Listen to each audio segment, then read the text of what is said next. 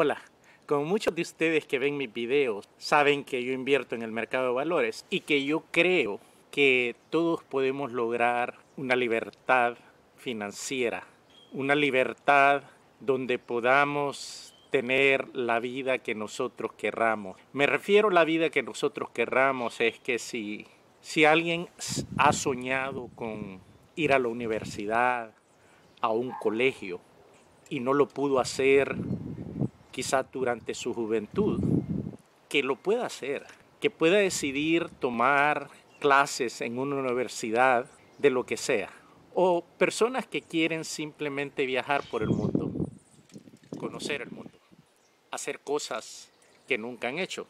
Para mí, la libertad financiera es tener libertad de tiempo.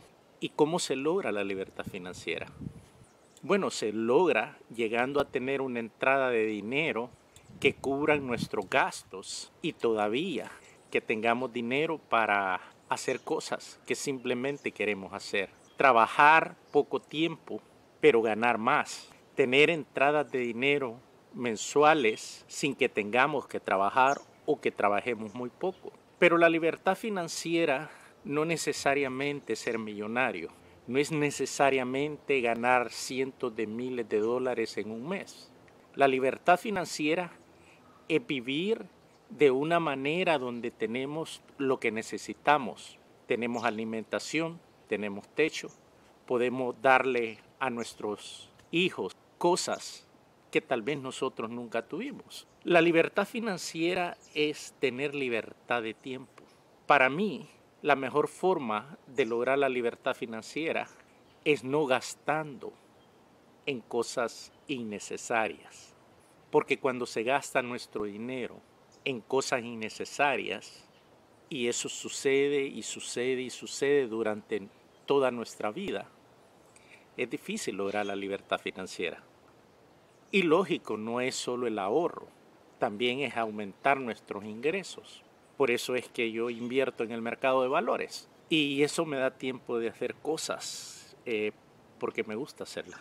Y una de las cosas que yo hago es sembrar plantas, sembrar vegetales. Y ahora con la situación de la pandemia, personas que antes no sembraban vegetales, ahora lo están haciendo por varias razones. La primera es porque tienen el tiempo que no tenían antes y ahora con ese tiempo lo están aprovechando para aprender a sembrar vegetales o si ya sabían cómo sembrar vegetales lo están haciendo porque tienen el tiempo. La otra razón es económica. Si nosotros mismos plantamos nuestros propios vegetales, nos ahorramos dinero. Y ahora hay jardines urbanos que le llaman. Hay ciudades donde vecinos se juntan y donde hay un patio, donde hay un terreno disponible se juntan y siembran. Personas que viven en apartamentos, que no tienen el espacio, no tienen la tierra para sembrar, están haciendo estos grupos urbanos. Y una manera que, lo están logrando también es que alguien tiene semillas y la dona al grupo, otra persona dona otras semillas y siembran. De esa forma no tienen que estar pagando por las plantas. Algo que yo hago precisamente es que también de frutas y vegetales mantengo las semillas y les voy a mostrar unas aquí. Estas son unas semillas de tomate.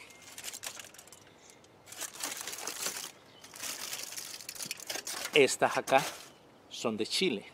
¿Por qué hago esto? Es porque es una manera de ahorrarse el dinero y no tener, se comen, se comen la, el tomate, guardan la semilla y de esa forma ustedes ahorran dinero al no tener que comprar plantas.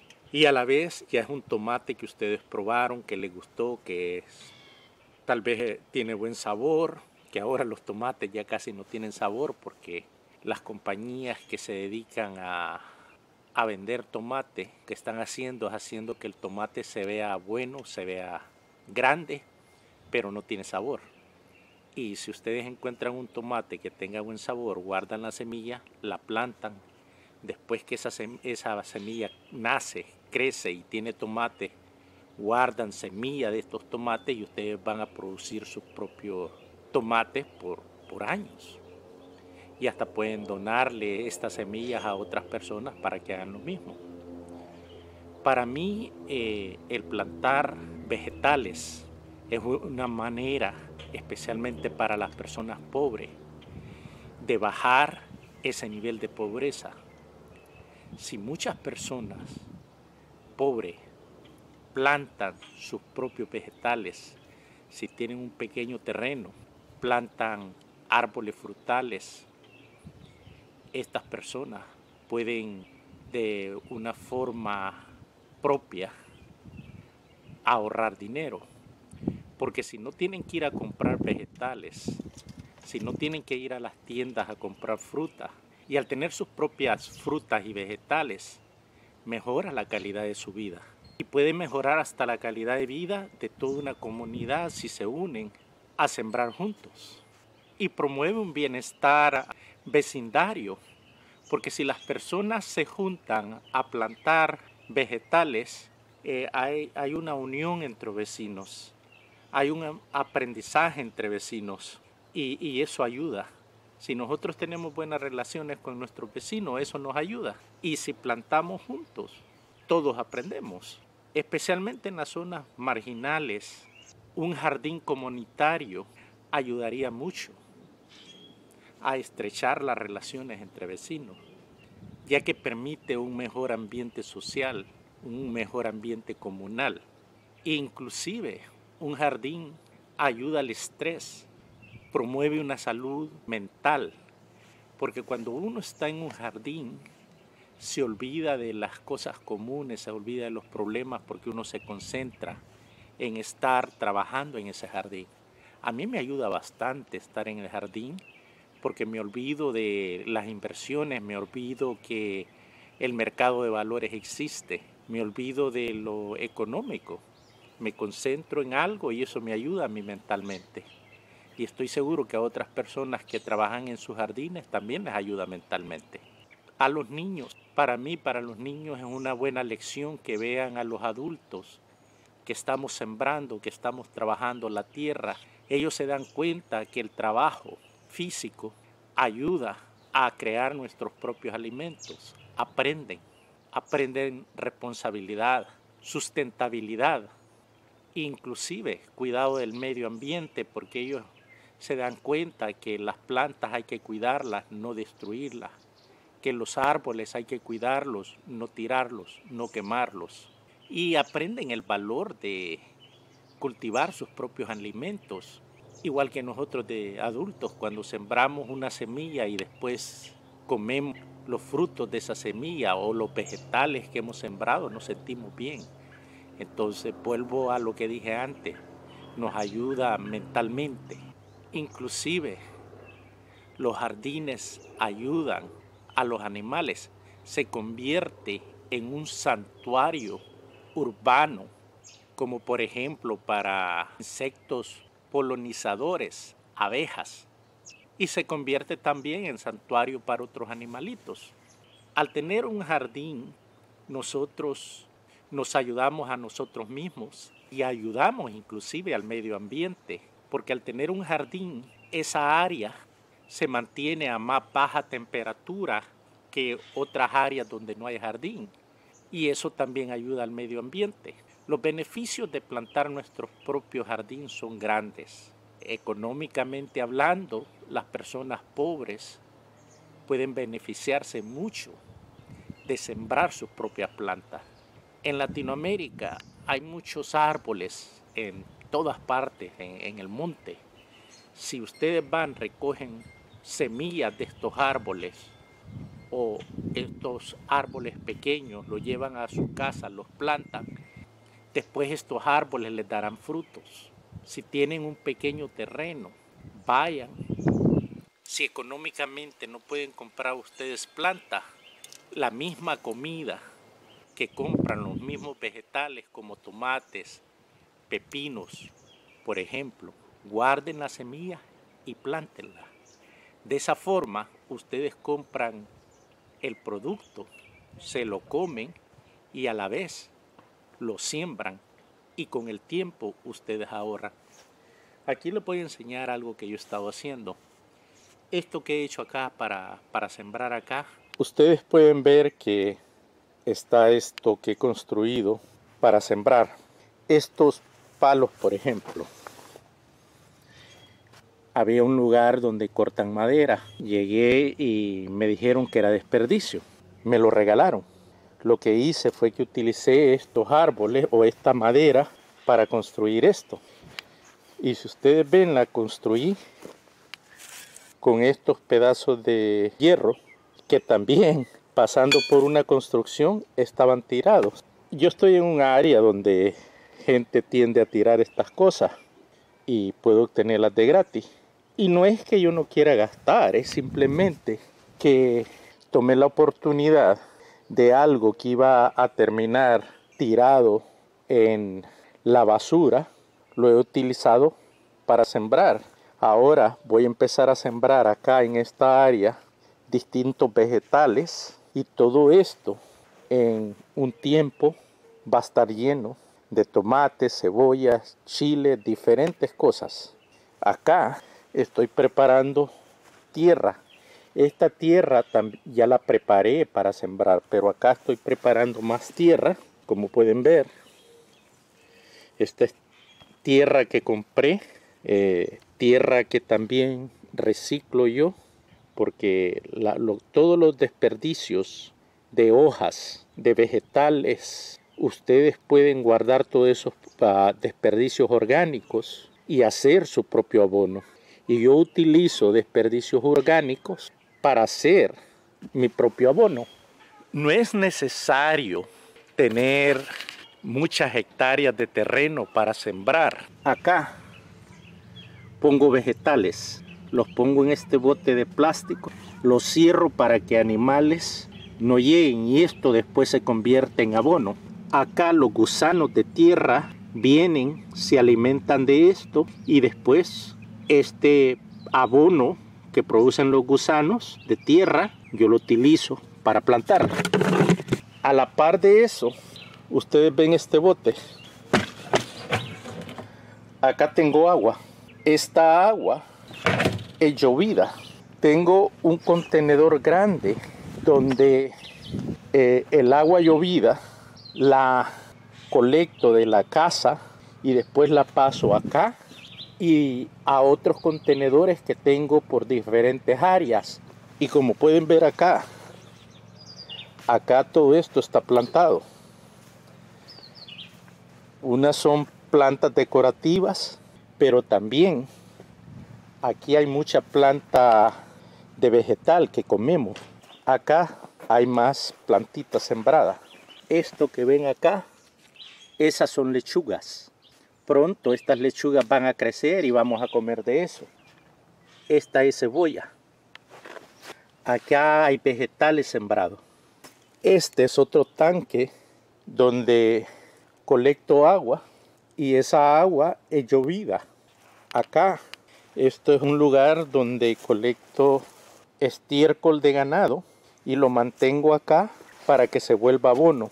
Después, este abono, estiércol de ganado, lo junto con esta tierra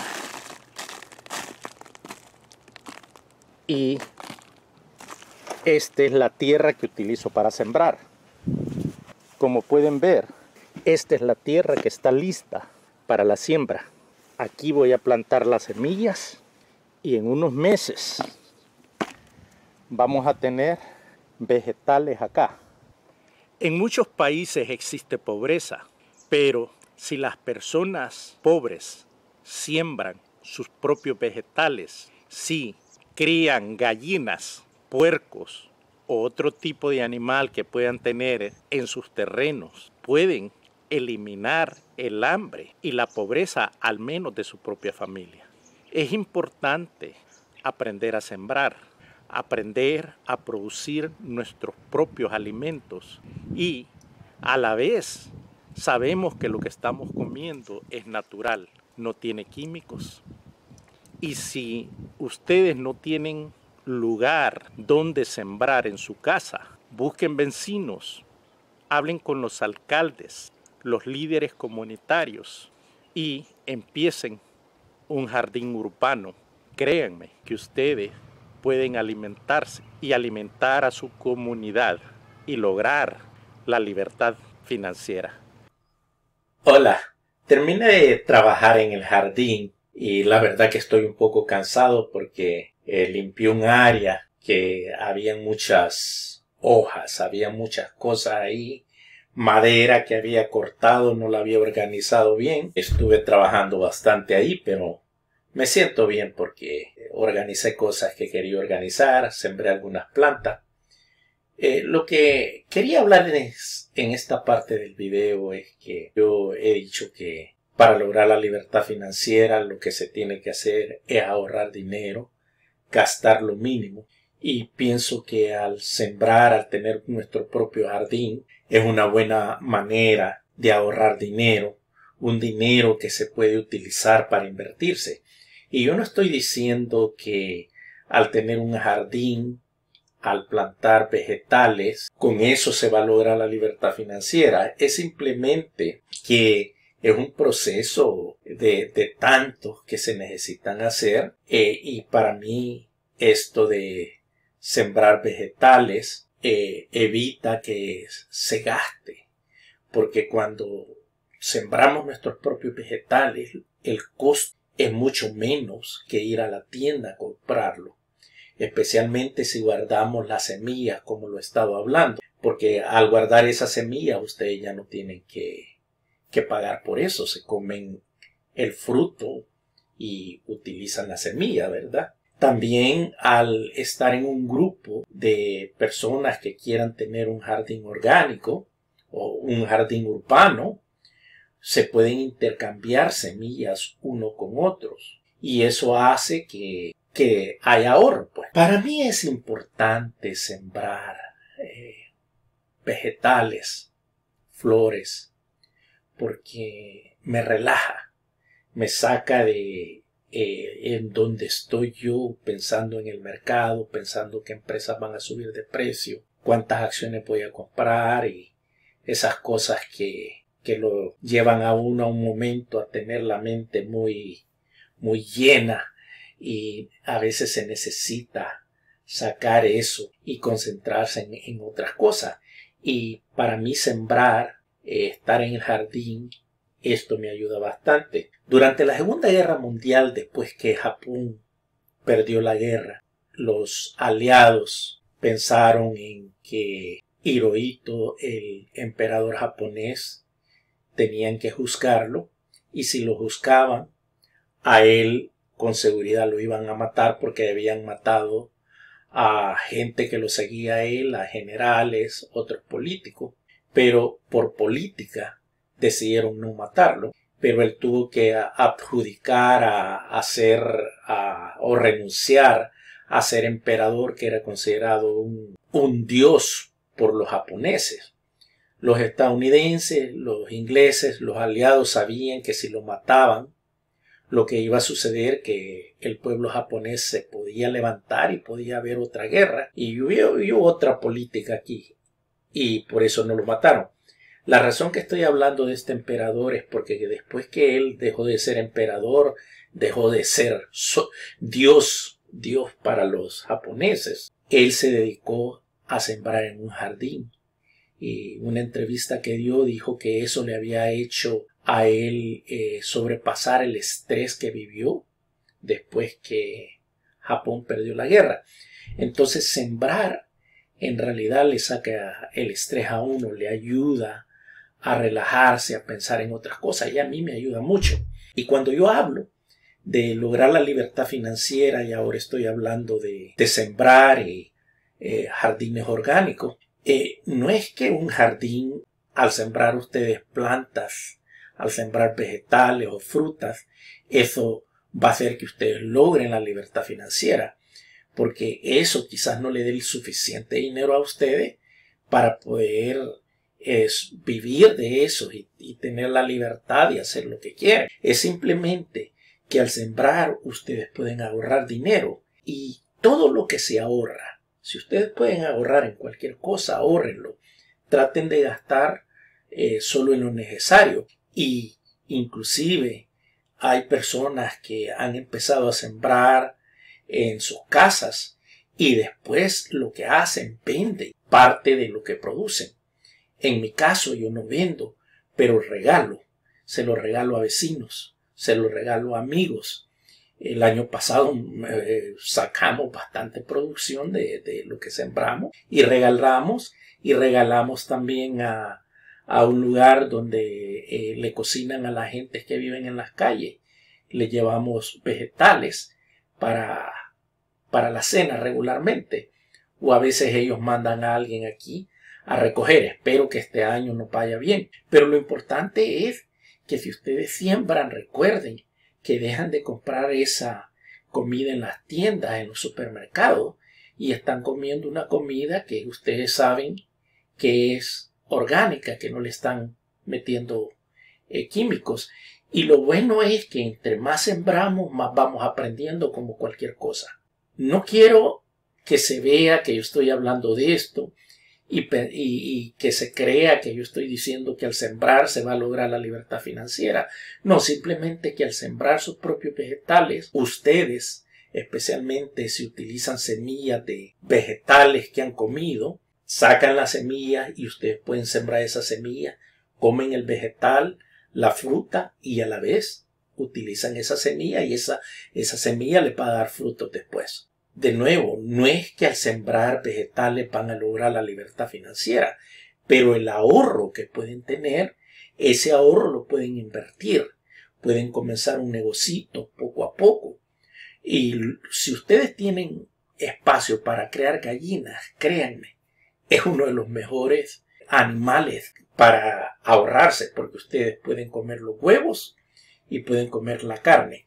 Y después, si tienen suficiente huevo, pueden vender estos huevos.